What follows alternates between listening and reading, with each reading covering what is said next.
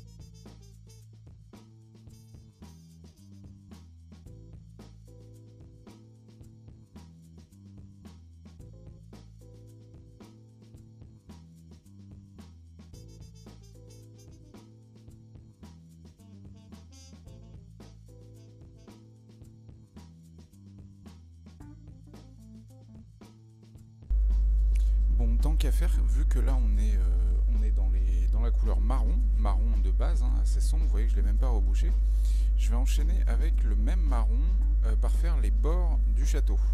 Donc en fait, tous les, toutes les, jonctions entre les parties pierres du château et ce qui va être le sol après.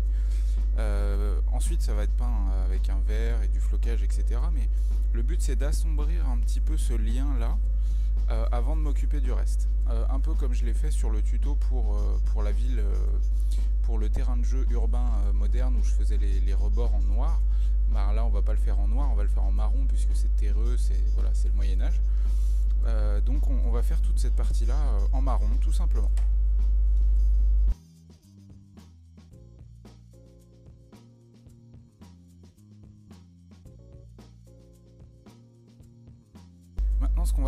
Éclaircir toutes les zones de bois. Comme vous pouvez le voir, donc elles ont été faites. Euh, mais bon, pour le moment, c'est très sombre. Donc en fait, on va procéder à peu près de la même manière qu'on a fait sur les pierres avec un brossage à sec. Sauf que là, euh, compte tenu de la matière et de la position dans laquelle c'est, et puis pour pas déborder sur les murs, on va pas vraiment faire un brossage à sec. On va prendre un pinceau un petit peu plus fin que les autres jusqu'à maintenant. Et on va venir euh, redessiner très simplement chaque latte de bois. Donc c'est un petit peu long, c'est un petit peu chiant, mais c'est le meilleur moyen pour que ce soit propre. Donc on va euh, tout simplement ressouligner chaque, euh, chaque teinte de bois. Si la peinture n'est pas tout à fait sèche, le marron d'avant, c'est pas grave du tout, au contraire, ça, va permettre de faire se mélanger les couleurs. Donc c'est parti, et, cette fois-là, on va, on va le faire avec la couleur ocre. Vous allez voir qu'au début ça contraste très fort, mais qu'en séchant c'est cool.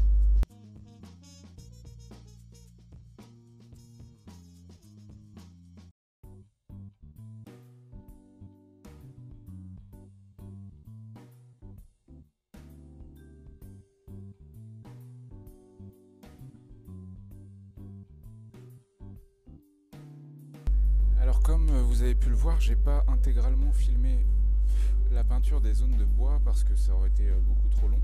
Et je pense que vous avez compris le principe. Le but était simplement de surligner chaque, euh, chaque planche de bois qu'on a au préalablement gravé dans le dépro.